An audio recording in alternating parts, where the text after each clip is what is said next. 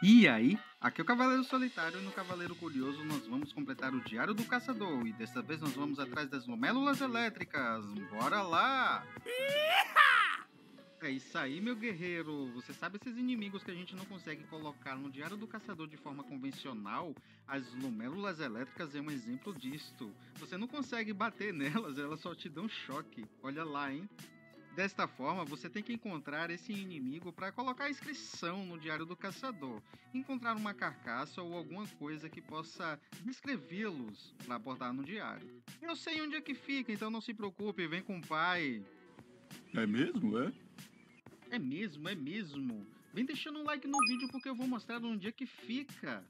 Ok, ok. Saindo da estação da rainha e subindo o canhão da neva, você vai em direção aos arquivos da professora. Para ter acesso ao local, você vai precisar ou do manto sombrio ou da lágrima de Isma. Entretanto, a essa altura você já deve ter um dos dois.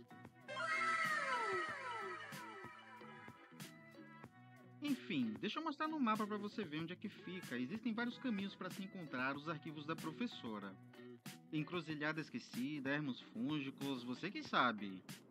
Enfim, uma vez dentro dos arquivos da professora, basta você enfrentar o chefe Umu, derrotá-lo e logo em seguida você vai encontrar o nosso objetivo. São as lumélulas elétricas.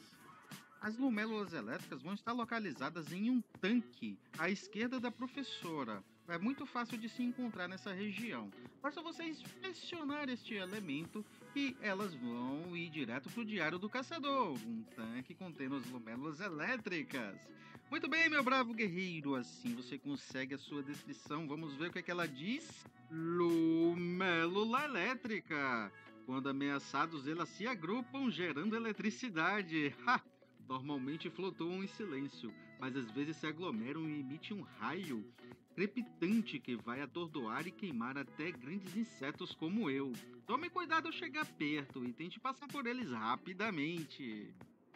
É isso aí, meu guerreiro. Esse foi o vídeo de hoje. Agradeço por ter acompanhado até aqui. Vai deixando o seu comentário, seu like e se inscreva no canal para não perder mais nenhuma novidade. Muito obrigado a todos e até a próxima. Torne-se membro do meu canal para ajudar o cavaleiro. Vambora! Uhul!